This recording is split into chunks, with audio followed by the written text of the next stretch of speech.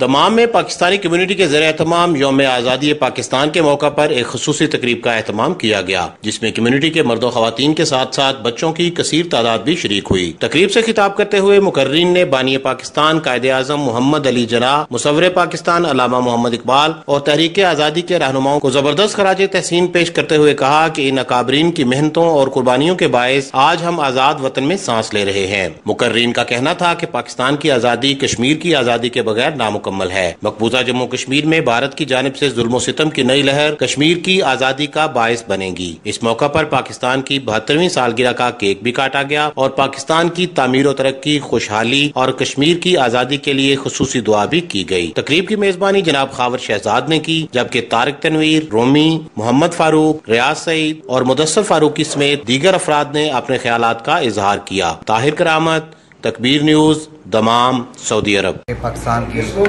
جشن آزادی کا سلسلہ ہے اس کو ہم بھرپور طریقے سے اس کو سیلیبریٹ کریں۔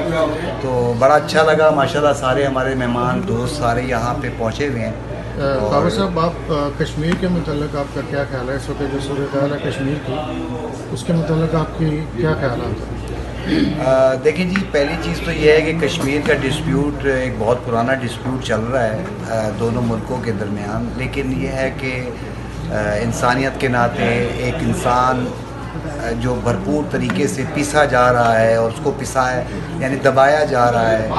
اور یہ دنیا بھی دیکھ رہی ہے، ہم بھی دیکھ رہے ہیں۔ تو ہم چاہتے ہیں کہ ساری دنیا، سارے مسلمان ایک ہوں اور ایک پلیٹ فارم پہ کھڑے ہوں اور ان کا ایک ہی ایجنڈا ہو کہ کشمیر کو آزاد ہونا چاہیے اور اس کی تکلیفیں، اس کی پریشانیاں، ان سب کے لیے جو ہے نا ہمیں دعا گو ہونا چاہیے۔